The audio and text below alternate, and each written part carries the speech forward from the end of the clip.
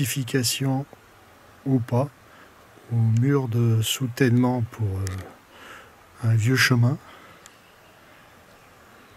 Sachant que cette zone euh, est une zone 100% anomalie archéologique et historique.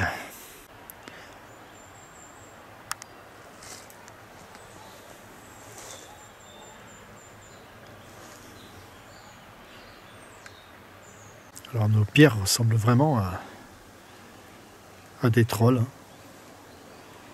Voilà à quoi ça me fait penser, avec un peu de poésie et de fantaisie.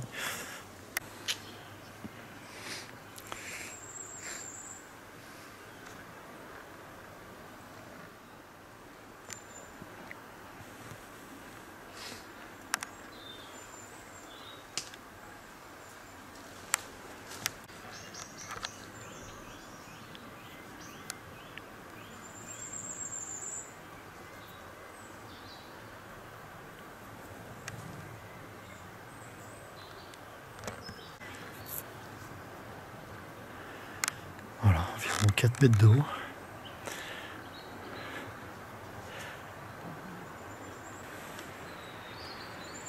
Alors, est-ce que c'était une technique pour fendre les roches?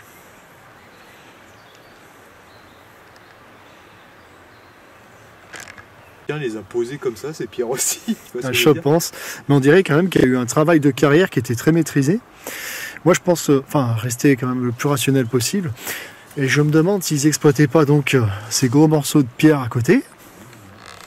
Ils les fendaient par je ne sais quelle méthode, mais on peut voir euh, ces méthodes qui sont encore utilisées en Inde pour fendre des blocs de pierre à la main. Elles prennent du temps, certes, mais peut-être qu'ils avaient une certaine maîtrise de la chute des blocs de pierre. Un bien drôle de cailloux. Alors des idées nous viennent quand on est sur le lieu. On dirait que nous sommes sur une ancienne carrière qui servait simplement à dresser des pierres. Peut-être que ça permettait euh, de surprendre euh, les gens de passage. Alors là, les, blocs en imposent. Hein.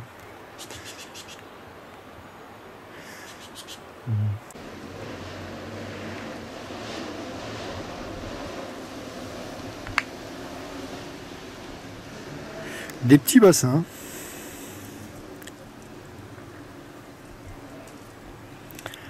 Toujours la présence donc de petits bassins, de lieux où on peut s'asseoir autour de certaines de ces pierres dressées.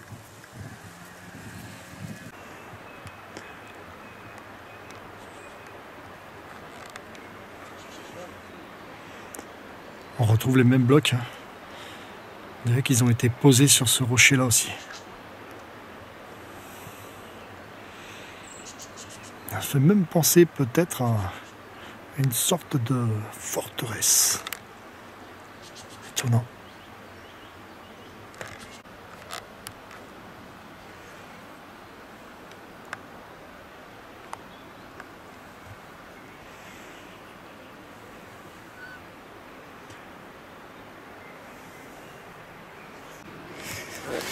Voilà, partie euh, intéressante euh, que personne semble avoir envie de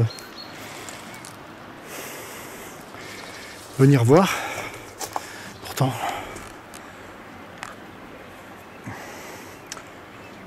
on dirait quand même qu'on pourrait y trouver des,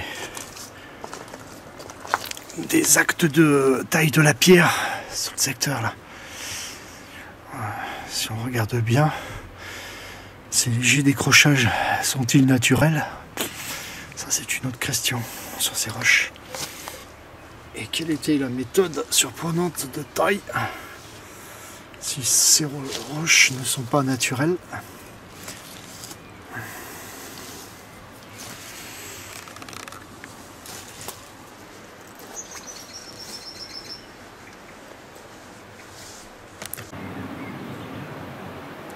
Ce soir, euh, à la tombée de l'avant, la tombée de la nuit, au menhir du Flat, on a pu, euh, avec Jean-Patrick, venir euh, fouiller un peu autour de ce menhir du flat et observer euh, ce que j'ai découvert il y a peu de temps avec Joël notamment sur Facebook. Euh, et en effet, on retrouve des anomalies archéologiques et historiques dans ce site, notamment une fameuse pierre qui me semble étrange, dans le sens où elle est en équilibre sur un rocher. On peut voir le, le vide dessous, tu vois, en fait. Mm. Et ce qui me paraît euh, complètement insolite, c'est que si la pierre a basculé, on se demande pourquoi elle n'a pas glissé jusqu'en bas avec ce poids. Mais là, non. Elle semble tout naturellement posée en équilibre. On dirait qu'il ne faut pas grand-chose, à la limite, euh, peut-être que quelques hommes forts, avec une bascule, pourraient euh, la pousser pour qu'elle glisse. Donc pas grand-chose en fait. Là encore, euh, de l'insolite. De l'insolite que je n'explique pas. Je n'explique pas du tout euh, ce type de phénomène euh, rocheux, mais euh, c'est assez surprenant, surtout que l'endroit semble un peu magique. C'est sûr que l'enchantement des pierres, avec ses formes si variées, ces visages que- qu'on peut s'imaginer, certains font penser à des trolls ou des figures de créatures un peu mythiques. Voilà, il y a, y a quelque chose quand même. ouais je pense que le terme anomalie archéologique et historique ici euh, tient la route. Il y a peut-être que nos les géologues devraient peut-être euh, passer plus de temps sur ces sites, essayer de comprendre ce qui a pu se passer. Parce que si on me dit travail de la nature, euh, j'ai l'impression que quelque chose l'a bousculé. Donc on voit bien le jour hein, pourquoi cette pierre n'a pas glissé. Mystère.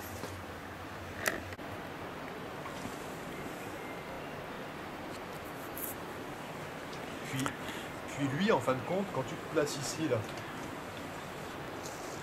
tu te rends compte qu'il est sur une embase quand même. Il est de la même Ouais. manière. Il y, en a, il, y a un, il y a un bloc un peu plus long là-bas à droite, et puis trois blocs qui se succèdent ici, mais qui sont distincts les uns des autres. Quoi. Ils sont pas, ils ont l'air juste accolés, quoi. Ils sont tellement bien accolés qu'on dirait qu'ils font qu'un bloc, mais c'est pas le cas. Non, je sais pas. C'est vrai que ça reste assez surprenant. On a du mal à, du des mal à imaginer que ce soit la nature qui réalisait ça toute seule. quoi. On se pose des questions hein, quand même. Regarde, il y a trois bases même. Il y a le socle qui est vraiment collé à la terre, le milieu des. Et regarde l'autre comme il épouse l'autre. Enfin bref. Voilà. Je sais pas Alors, s'ils sont détachés ou. C'est ça qu'on voit pas en fait. ou alors si c'est une explication géologique qui a formé ce phénomène, qu'on m'explique comment la Terre a pu bouger et fabriquer ça. Ça me paraît complètement insolite. Pourtant, euh, j'ai vu des phénomènes euh, étranges dans certains secteurs de France qui sont tout à fait naturels et reconnus. Mais ici, euh, c'est assez difficile d'expliquer le, pourquoi. L'appareil, il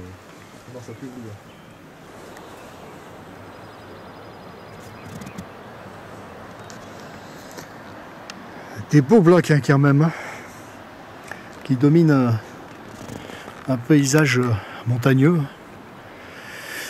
Autrefois, sans doute, la forêt ne cachait pas ses pierres.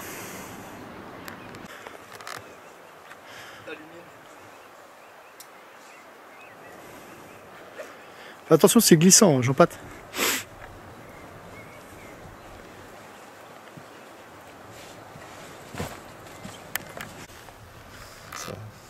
Voilà, encore une pierre euh, assez phénoménale.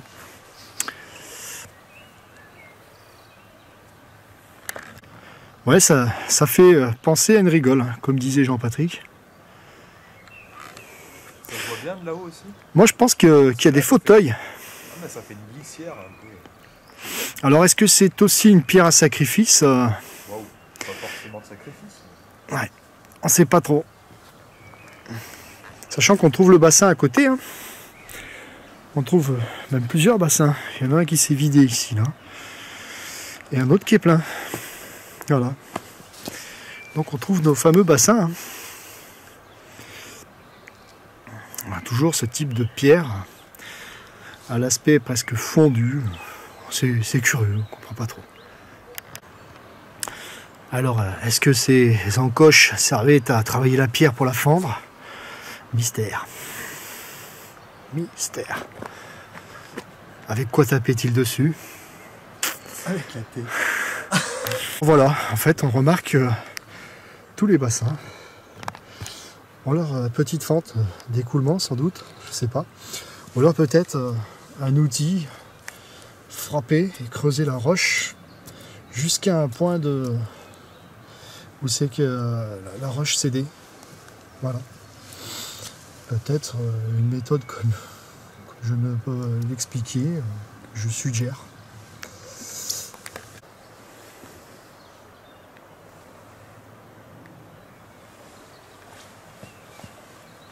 Je devrais pas monter dessus.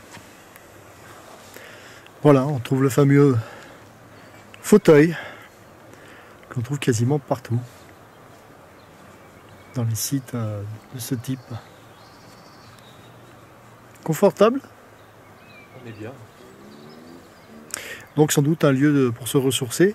On sait qu'autrefois, euh, dans ce lieu, euh, Faut l'imaginer en forêt passaient des pèlerins et qu'ils passaient par le menhir du Flat et ils venaient s'y ressourcer.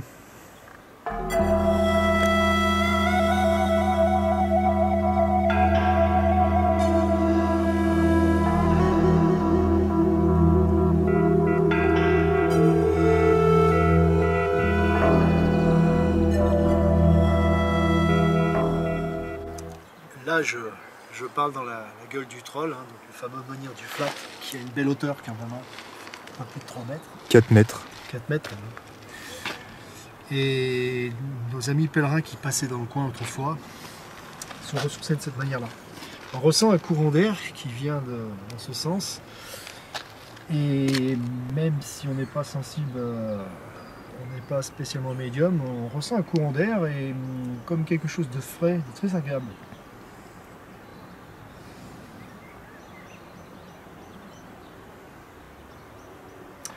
Voilà, fameuse pierre pour se ressourcer euh, sur les chemins de Compostelle autrefois. Alors, euh, on y croit ou on n'y croit pas hein.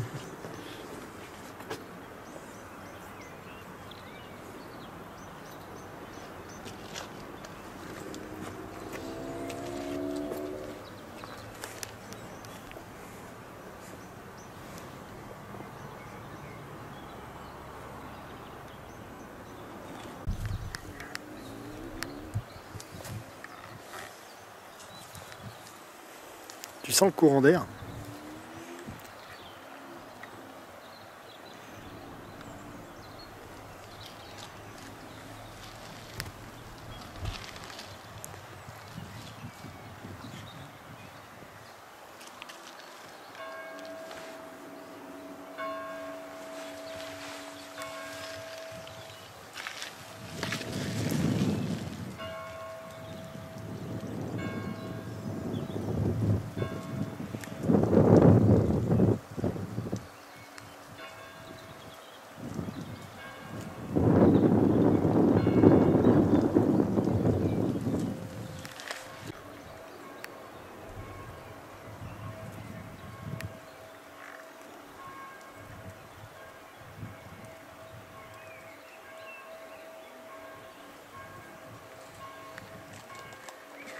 avoir des cristaux très fins pour pouvoir provoquer ça. Pour toi, donc, euh, elle aurait été touchée par la foudre, c'est ça? C'est pas invraisemblable quand on voit la partie qui est noircie au-dessus. Bon, on la voit moins bien maintenant avec euh, la tombée de la que- nuit. Est-ce que la pierre qui prend euh, le coup de foudre euh, devient noircie avec? Je sais pas. Après, ça pourrait peut-être expliquer le fait que certaines pierres soient zébrées? Ça veut dire qu'on pourrait trouver de la fulgurite dedans également. Hmm. Sur le dessus. Peut-être que simplement ils, euh, ils cherchaient simplement à tirer la foudre vers eux avec ce type de pierre. C'est pas saut non plus. Parce qu'ils étaient quand même placés sur des zones où, où la foudre pouvait taper. Ou alors peut-être qu'ils la craignaient et que les pierres les protégeaient de la foudre. Pas idée, hein. franchement. Ça ouvre un champ d'horizon euh, intéressant. euh, une sorte de paratonnerre. voilà, pour se protéger eux, parce qu'on dit que les Celtes craignaient qu'une seule chose, c'était les foudres du ciel.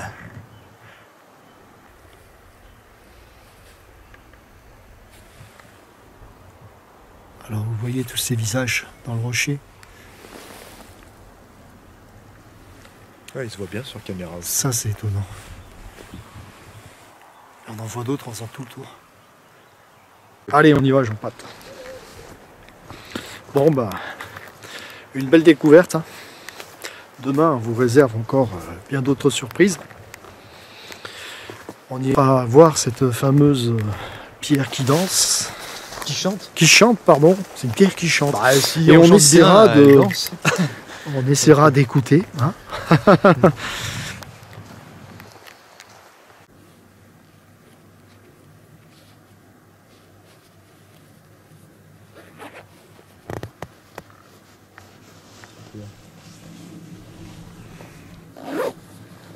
Il y a un petit crachat. Nous sommes sur le site euh, de la chapelle Saint-Sabin, de nuit, et on entend la chouette. Et un petit crachin, il fait, il fait pas trop froid, hein. on est bien aujourd'hui. Et voici la vue qu'on a d'ici de nuit.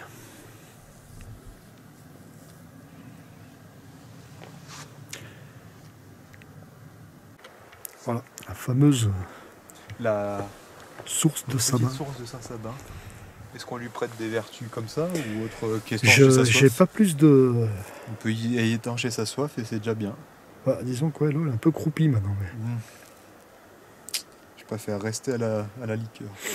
mais autrefois, ouais, elle était. Il devait la boire, hein, C'est surtout qu'il devait avoir un flux, il devait l'entretenir et je pense, ouais. qu'il y avait un flux constant.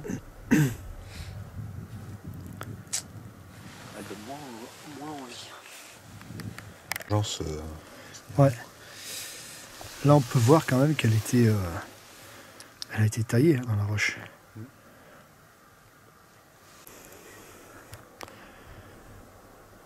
Alors voilà un petit bassin encore. hein. Encore une pierre, la chapelle Saint-Sabin. Il y en a, il y en a plusieurs par là, des, des petits bassins sur les roches.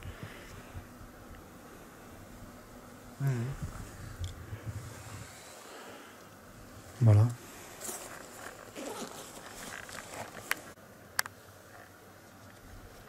un euh, qui a complètement digéré l'arbre.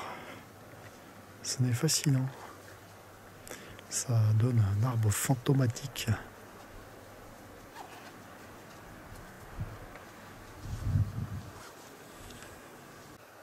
Alors, on retrouve notre fameux, notre fameux caillou au sacrifice, la pierre au sacrifice de nuit. C'est quand même les motifs euh, qu'on peut trouver. Ça, pa- ça paraît pas trop naturel presque. Bizarre. Après, faut pas enlever euh, la possibilité que ça le soit quand même.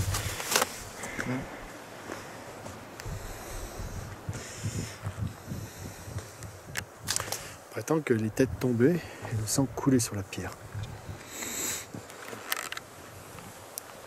Donc ici, il est dit que les rituels étaient livrés euh, après euh, aussi euh, par l'Église catholique. hein. Ils se sont appropriés ce lieu d'un ancien culte pour se protéger donc de la, foudre et des épidémies. Donc les, personnes qui montaient de- des villages voisins ramassaient l'alchimie des Alpes. C'était le, le symbole euh, de leur pèlerinage pour venir ici, en ce lieu à Saint-Sabin. Donc euh, quelque part, euh, le culte a, été modifié, hein. mais toujours pour se protéger. Je pense que les sacrifices sur cet hôtel autrefois devaient être certainement pour les mêmes effets.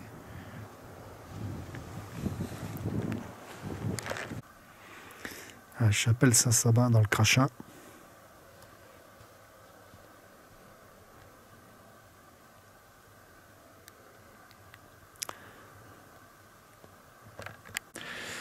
Bon, on reste dans le noir alors, c'est ce que tu disais Jean-Pat Ah, voilà le Roméo et Juliette numéro 2.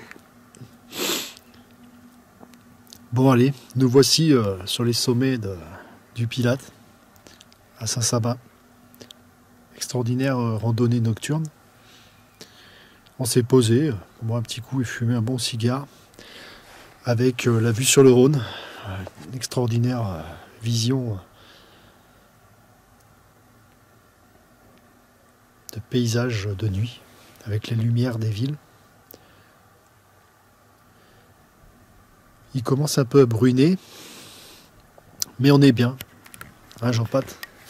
Ah ouais, on est plus que bien. Ah, Tiens, Allez, Tirer ma taf. un petit goût de café, c'est agréable. Et puis, ouais, il n'y a pas trop de bruit de la ville. Ah, il est bon. aussi. Plus léger que le, le numéro 1.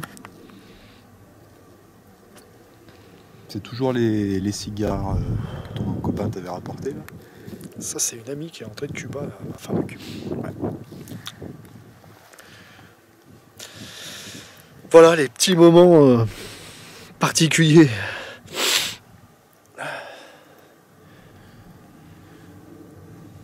Petits moments de magique qu'on peut se créer euh, en partant l'aventure euh, pas très loin de chez soi parfois.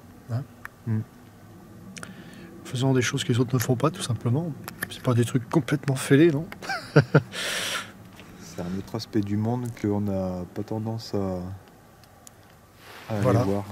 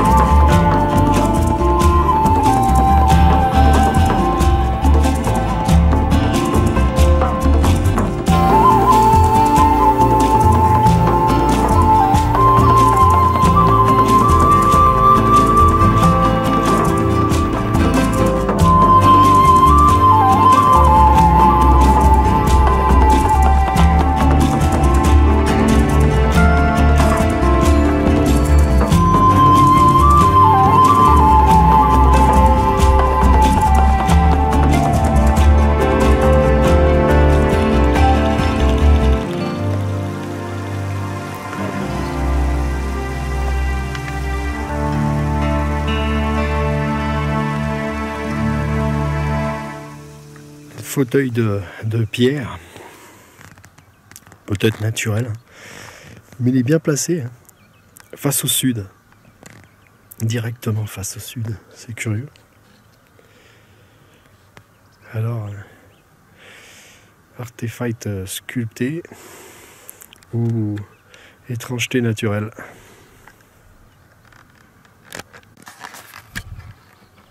Voilà, un petit fauteuil euh, très confortable, n'est-ce pas? Mais euh, on dirait le fauteuil d'un géant. Putain, j'arrive pas à poser les pieds par terre, mais euh, c'est très agréable.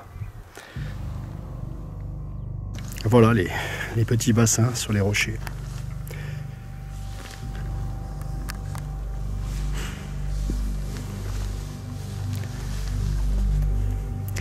L'eau est propre, hein, t'as vu? Hmm. Bien clair.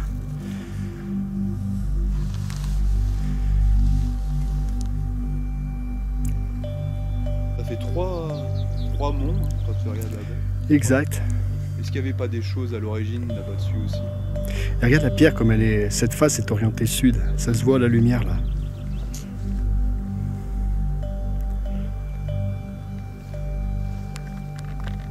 J'avais déjà fait une, une photo de ce symbole, mais qu'est-ce qu'il représente? C'est assez curieux.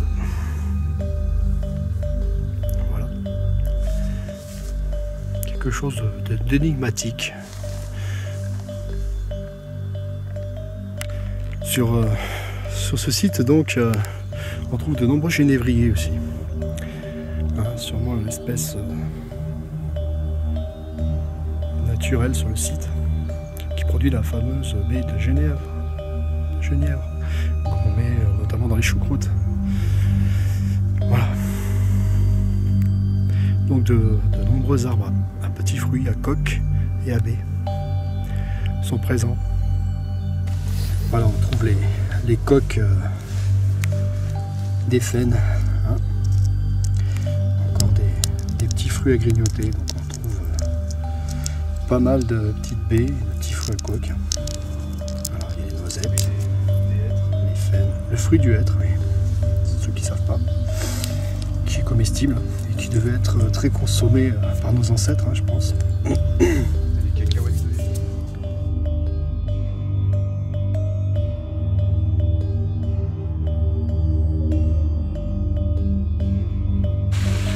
Le pont de planche à cul.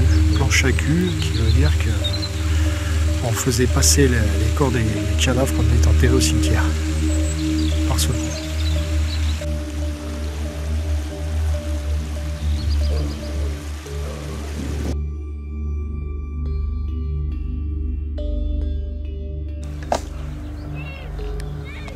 Sainte-Croix en Jarret.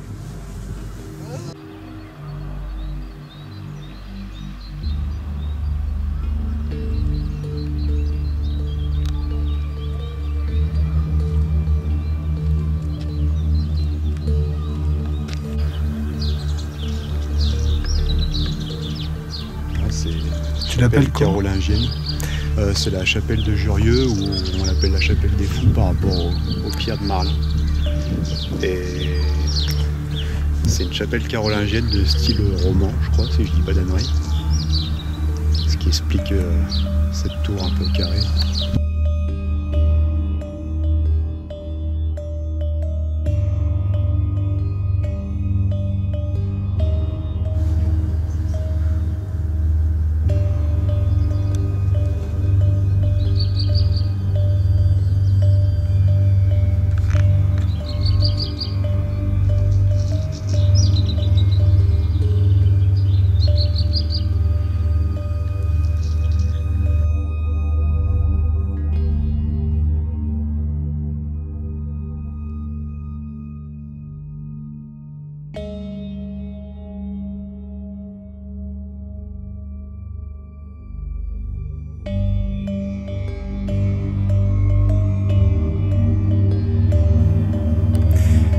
Petit bassin donc.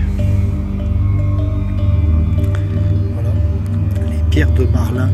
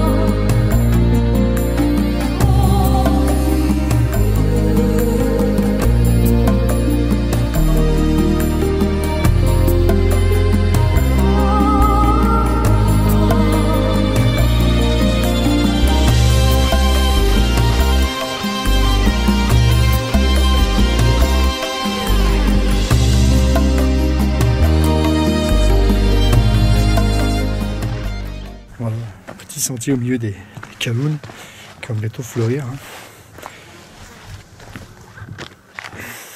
Voilà, merveille- merveilleux panorama.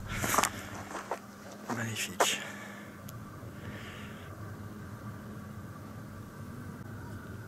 Alors, je trouve beaucoup plus petit que les autres. Ça, c'est une cupule.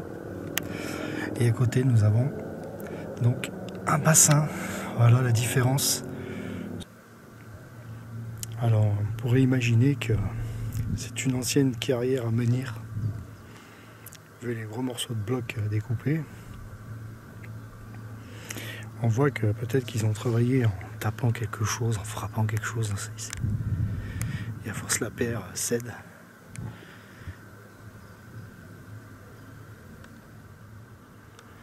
On peut voir les couches qui composent la roche. C'est ça qui est assez étonnant.